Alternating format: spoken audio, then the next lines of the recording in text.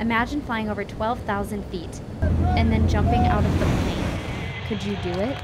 Everybody should experience it. The Air Force Golden Knights team thrives on the thrill of soaring. It's a lot like floating. It's like sticking your hand out the window almost going down the highway.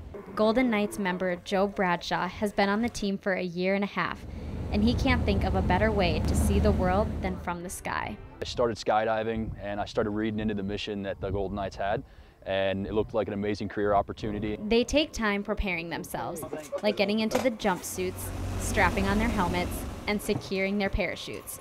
But once they take flight,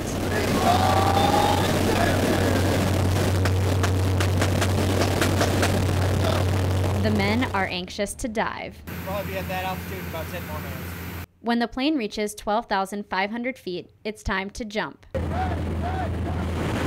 already traveling 120 miles an hour when you leave the plane.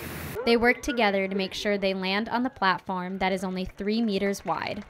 We're always growing, we're always pushing ourselves, we're always learning and trying new things, doing new things with, with some of the most professional, intelligent people that the military has to offer. It's definitely like a family. Everybody's really close, we're always there for each other. Soaring and smiling from top to bottom. We're normal, everyday people, we just have a different job than most people. At the Minot Air Force Base, Alexus Arthur, KX News.